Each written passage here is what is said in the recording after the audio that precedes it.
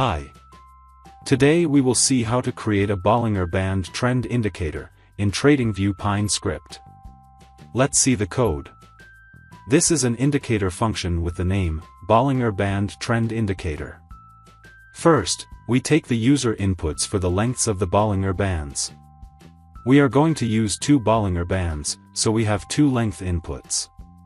One is short length, and one is long length. And then, we have an input for the standard deviation factor.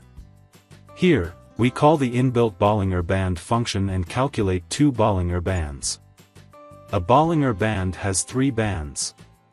Upper band, middle band, and lower band. So that's what we get in the result here. Then what we do is, we subtract the upper band of the smaller Bollinger Band, from the upper band of the bigger Bollinger Band. Similarly, we subtract the lower band of the smaller Bollinger Band, from the lower band of the bigger Bollinger Band. Then we divide the difference of these values by the middle band of the shorter Bollinger Band and get its percentage value. This is our Bollinger Band trend value. Here, we calculate the color of the trend. If the trend is above the zero line and is going upwards, then we color it dark green. If the trend is above the zero line and is going downward, then we color it light green.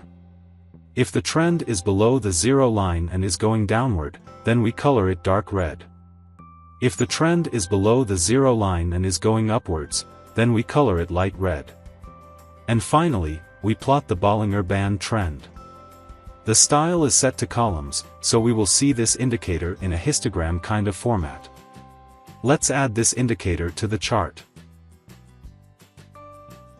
As you can see, the Bollinger Band trend indicator is ready. The trend is strong and bullish when the indicator is dark green. The trend is weak and bullish when the indicator is light green. The trend is strong and bearish when the indicator is dark red. The trend is weak and bearish when the indicator is light red. And this is the input of the indicator. You can adjust the Bollinger bands from here. So that's it. That's how you can create a Bollinger Band trend indicator in the TradingView Pine script. Thank you.